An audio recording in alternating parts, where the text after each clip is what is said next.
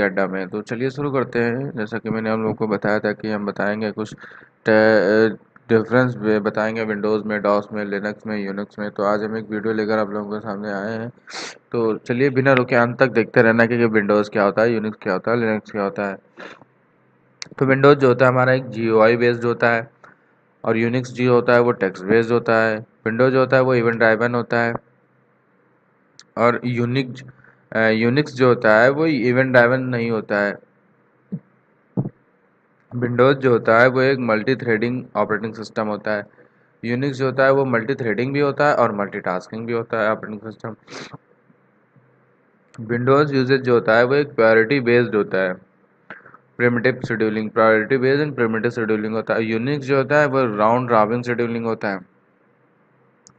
Window जो होता है वो कंपोनेंट बेस्ड होता है सिस्टम एक कंपोनेंट यानी शेड्यूल बेस्ड होता है कोई भी चीज़ प्रॉपर वे में होती है और यूनिक्स जो है राउंड रॉबिन प्रिमिटिव होता है और ये इंटीग्रेटेड सिस्टम होता है यूनिक्स जो होता है वो एक इंटीग्रेटेड सिस्टम होता है विंडोज़ जो होता है वो सिक्योर बहुत होता है लेस सिक्योर होता है यानी कि इतना ज़्यादा सिक्योर नहीं होता है और इसे बहुत आसानी से समझा जा सकता है बट जो यूनिक्स होता है वो इजी मोर सिक्योर होता है काफ़ी ज़्यादा सिक्योर होता है और उतनी आसानी से उसे सीखा नहीं जा सकता है। तो ये डिफरेंस जो थे मेन विंडोज़ और यूनिक्स के बीच में। अब देखते हैं, इसके बाद जो हमारा आता है, वो difference between Windows and Linux तो विंडोज़ मोस्टली ऊपर मैंने बताया सेम ही है, अब लिनक्स के बारे में जानते हैं। तो विंडोज़ ऑपरेटिंग सिस्टम डेवलप किसने किया है? विंडोज़ को माइक्रोसॉफ्ट ने डेवलप किया है। Making user to paid development Linux जो है एक open source meaning it is free under G N U एक ओपन सोर्स जो होता है ओपन सोर्स ऑपरेटिंग सिस्टम है।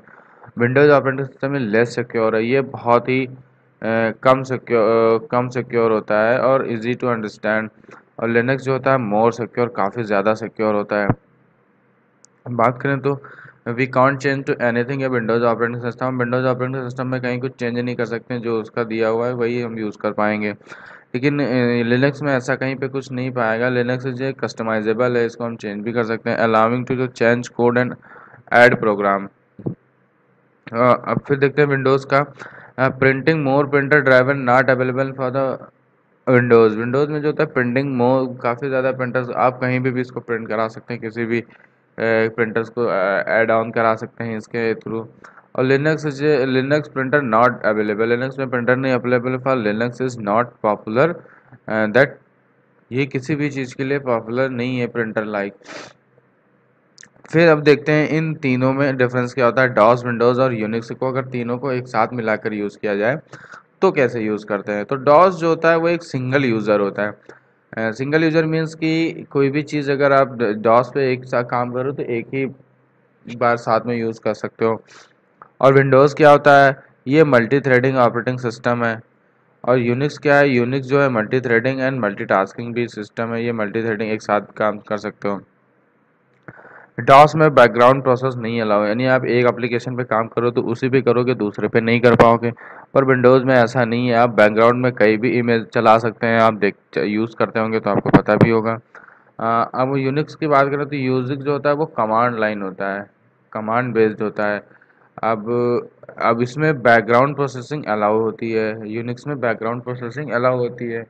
अब डॉस की बात करें तो DOS it not support it does not support to does does support to networking ये नेटवर्किंग को सपोर्ट नहीं करता है। इजी टू लेस सिक्योर और ये काफ़ी इजी इजी टू अंडरस्टैंड और ये काफ़ी सरलता से सीखा जा सकता है विंडोज़ जो होता है। काफ़ी इजी होता है, इसलिए इसे सीखने में कोई ज़्यादा तकलीफ़ नहीं आती है। It's not about nots about networking अगर विंडोज़ की बात करें तो विंडोज़ नेटवर्किंग का कोई वो नहीं है, आप कुछ भी कर सकते हैं इस चीज़ पे। अब अगर यहीं पे हम यूनिक्स की बात करें तो processing is allowed it has for net it has for networking जो यूनिक्स होता है प्रॉपरली नेटवर्किंग के लिए होता है। डॉस की अगर हम बात करें तो डॉस जो हमारा लेस सिक्योर होता है does not easy to understand काफ़ी ईजी होता है इसको, लेकिन हम आसानी से समझ सकते हैं। अब अगर विंडोज़ की बात करें तो विंडोज़ लेस होता है, secure but easy to understand. Unix is more secure but difficult to understand Unix जो है, काफ़ी सिक्योर होता है और इसे सीखना भी बहुत ही कठिन होता है। तो इतनी आसानी से नहीं सीखा जा सकता है।